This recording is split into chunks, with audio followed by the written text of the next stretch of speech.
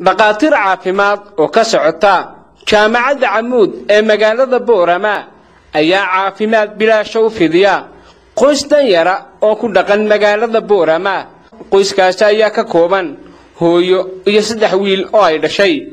Laba ka mida wiilashaasi xagga dhimirka ayay ka xanuunsanayaan halka wiilka saddexaadina uu yahay wiil indhoolaa adeegani caafimaadka islamar ahaantaasina bilaashka ee loo fidiyo qoyskaasi danyarta ayaa ka qayb qaadanaya ololo qoyskaasi loogu gargaarayo islamar ahaantaasina taakulo loogu fidinayo. Dhakhaatiirtani caafimaadka fulisa ayaa guud ahaanba magaalada booramo oo dhan iyo gobolka awdal ka howlgala kuwaasoo gacanta ku haya badiba dadka iyagu xagga dhimirka ka jiran iyaga oona siiya daawooyin lagula tacaalo dadka xagga dhimirka ka xanuunsan. Dhakhaatiirtani ayaa u adeega si mutadawacnimo ah oo wax loogu qabanayo dadka xagga dhimirka ka xanuunsan. Ugu horrayntii waxaa halkaasi ka hadashay hooyadani danyarta ah ee saddexda wiil ee xanuunsanaya iyadu dhashay kana warrantay adeega caafimaad ee bilaashka ah ee loo fuliyo hooyo soomaaliyeed iyaanahay oo dhibaataysan. Kolkaa meel had joogtiin bay ii soo duceeyay inuu ilaahay ii shaafiya inamada gargaar kale ma hayo ma qaban karo ma xajin karo. Way iga awood roon yihiin. Aabbahoodna wuu dhintay. Kii qabanayana wuu indhalaayahay dee sidaa iyo sidaa waan dhidbanahay. Kolkaa وأدينا دي سود عايسين كل كان سلادة تكنس ودينا يا دي سود عايسين متك كله إن ما ضعف ما هاد كان أختارك بورمي وين الصومران؟ وين دويان وين رصع ذا الحالة طيب؟ وين رصع ذا هذه وين وين الصومران؟ دوي ذا وين سيان كناني مرحبا ولا ضعفهم لعبة هكذا حاشا.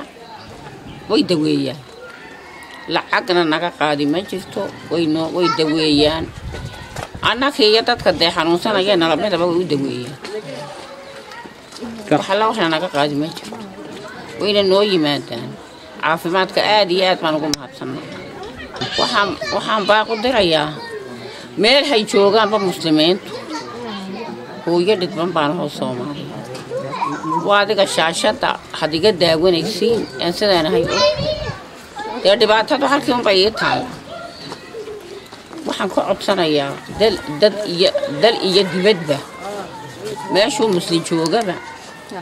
Inuu ilaahay indha naxariista haynagu soo eegaan. Dhanka kale iyaguna waxaa halkaasi ka hadlay doctor gurguurte iyo sidoo kale kalkaaliso caafimaad oo ka tirsan isbitaalka guud ee magaalada boorama kuwaas oo ka warbixiyey adeegyada caafimaad ee bilaashka ah ay fuliyaan dadka iyagu xagga dhimirka ka xanuunsan. Waxaan halkan ka caddaynayaa cid kastoona daawata magaalada dad badan baa dhibaataysan dadka ugu sii dhib badan waxaa ka mid a oo ay dhibaato badan ay soo gaadhay hooyada xabiiba oo haysata afar qof bay dhashay gabadha uu caafimaad qabtaa inan uu caafimaad qabaa laakiin uu ka indhalaayahay inana uu ka xanuunsanaya waxaa ku dhacay xanuunka dhimarka ayaa loo yaqaano isku dardaranka ama afka ingiriiska loo yaqaano iskusafrenia sanado badan ayuu ka xanuunsanayaa. Inan kalena uu ka xanuunsanayaa oo labaad isna wuxuu qabaa xanuunka loo yaqaano dhimirka oo ah psychosiska.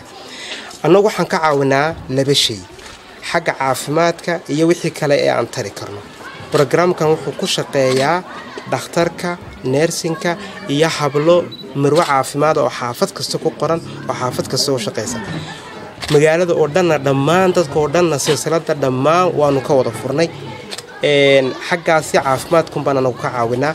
Waxaa kaloon ka caawinaa marmarka aan raashin aan helno ama ay mucaawimo lagu soo caawiyo waanu yeedhnaa way naga qaadataa hooyadu waanan ka warhaynaa waxaan rajeynayaa cid kastoo soo caawinaysa inay soo caawiyaan laakiin xagga caafimaadka annaga ayaa ka caawina oo guriga ugu imanaa xaaji xirsi waxaan ka shaqeeyaa mashruucan special la yidhaahdo s s r a oo jaamacadda camuud ku xidhan وأنا وحنا هنرس كمذا حافظن قارهن شق مكاهيل بنك قرنها هاي سجال هبلاط بنسبر فايسر وهاي على الشقية أنو بحنا مروعة في مات سجال كهبلاط صدح كمذا أي حافظن كسي قرن مركا هو يدن أدبان أصاب قناة دود فري بانو كينا لبا إن ما تبقى حنا وصلنا سيد